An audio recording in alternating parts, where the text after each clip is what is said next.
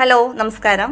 സിമ്പിളായിട്ടുള്ള പൈനാപ്പിൾ മുരുകർ തയ്യാറാക്കാം. അതിന് വേണ്ട ഇൻഗ്രീഡിയൻസ് തേങ്ങ തൈര് മഞ്ഞപ്പൊടി മുളക് പൊടി വെളുത്തുള്ളി കടുക് ജീരകം ഉലുവ പഞ്ചസാര വേപ്പില പച്ചമുളക് ഉപ്പ്. പൈനാപ്പിൾ വെളിച്ചെണ്ണ. നമുക്ക് ഉണ്ടാക്കാൻ തുടങ്ങാം. ഒരു ചട്ടി വെച്ചിട്ടുണ്ട്. അതിലേക്ക് നമുക്ക് വെളിച്ചെണ്ണ ഒഴിച്ചു കൊടുക്കാം. ഒരു മൂന്ന് ടേബിൾ സ്പൂൺ വെളിച്ചെണ്ണ ഒഴിച്ചു കൊടുക്കാം.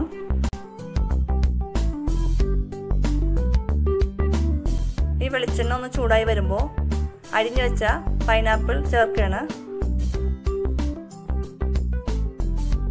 ഒരു പൈനാപ്പിളിന്റെ ഹാഫ് പോർഷനാണ് എടുത്തിരിക്കുന്നത് കേട്ടോ. ഇതിലേക്ക് ഒരു അഞ്ച് പച്ചമുളക് ചേർക്കുന്നുണ്ട്. നിങ്ങൾക്കിപ്പോൾ എത്ര രൂപ വേണം? അപ്പോൾ അത്രയും പച്ചമുളകിന്റെ എണ്ണം കൂട്ടിയും കുറച്ചും കൊടുക്കാം.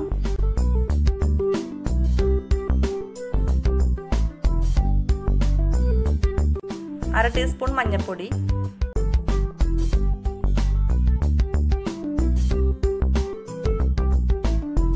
ഇത് കൂടി ഇട്ടിട്ട് നന്നായിട്ട് ഇളക്കിയ ശേഷം നമുക്ക് ഈ പൈനാപ്പിളിനെ ഒന്ന് വേവിച്ചെടുക്കണം.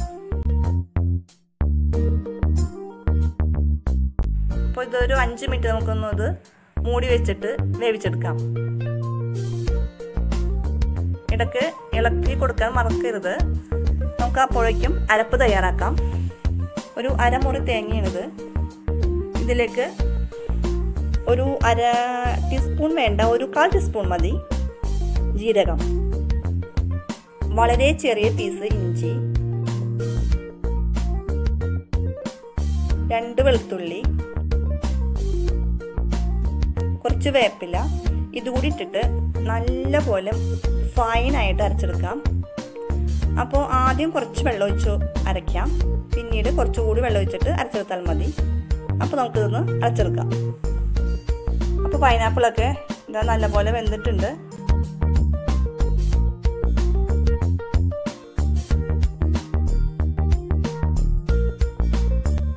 ഇത്രയും മതി. നമുക്കിതിലേക്ക് അരപ്പ് ഒഴിച്ചു കൊടുക്കണം.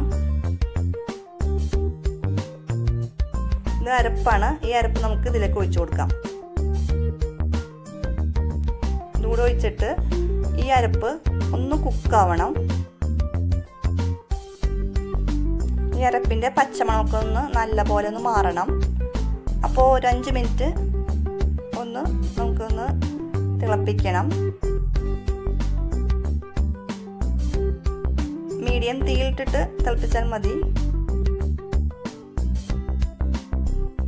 അപ്പോൾ തിളയൊക്കെ വരുന്നുണ്ട്. നമുക്ക് ഇതിലേക്ക് എടുത്തു വെച്ചിരിക്കുന്ന അര ലിറ്റർ മോര് ഒഴിച്ചു കൊടുക്കുകയാണ്.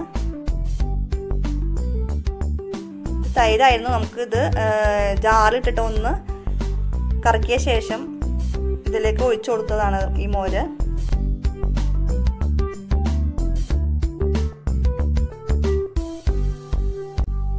ഇതിലേക്ക് കുറച്ച് വെള്ളവും ചേർക്കണം.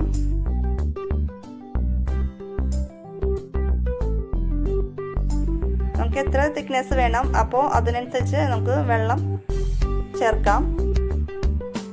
കുറച്ചും കൂടി ഒഴിക്കുന്നുണ്ട്. അപ്പോൾ കുറച്ചുകൂടെ വെള്ളം വേണ്ടി വരും.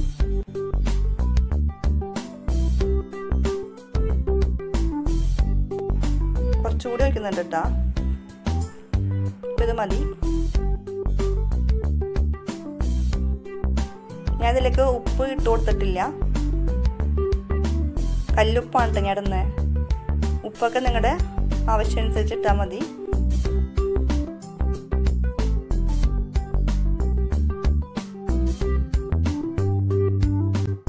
ഇതിലേക്ക് ഒരു അര ടീസ്പൂൺ പഞ്ചസാര കൂടി ഇടുന്നുണ്ട്.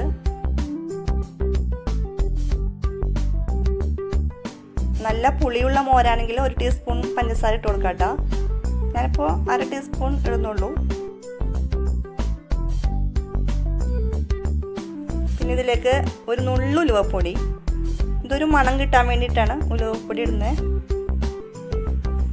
അതിയാവരുത്. കൈപ്രസം ഉണ്ടാകും.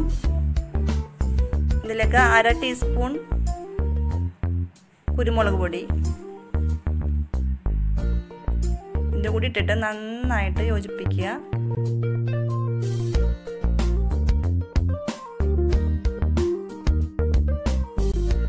ഈ മോര് അധികം ഇട്ട് തിളപ്പിക്കണ്ട. നമുക്ക് ഈ മോരൊന്നും തിള വരുന്നതിന് മുമ്പായിട്ട് ഒന്ന് ഗ്യാസ് ഓഫ് ചെയ്യാം കേട്ടോ.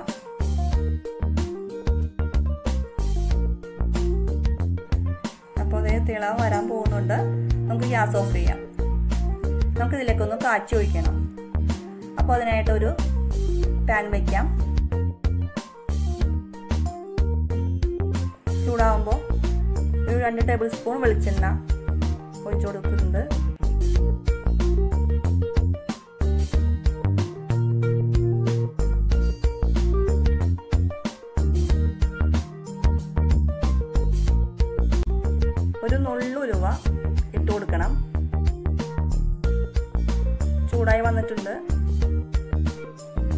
കൊടുക്കാം. അര ടീസ്പൂൺ കടുക്. രണ്ട് മൂന്ന് വറ്റൽമുളക്. കുറച്ച് വേപ്പില.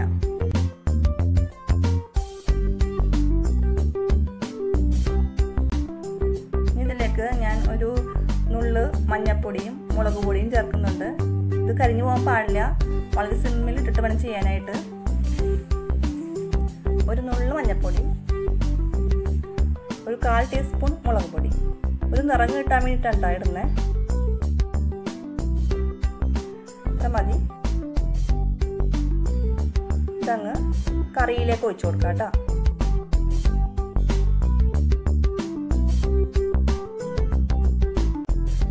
നല്ല സ്മെല്ല് വരുന്നുണ്ട്.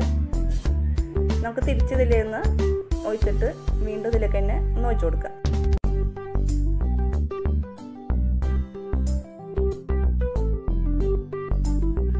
അഞ്ച് മിനിറ്റ് ഒന്ന് മൂടി വയ്ക്കാം അതിനുശേഷം നമുക്ക് സെർവ് ചെയ്യാം.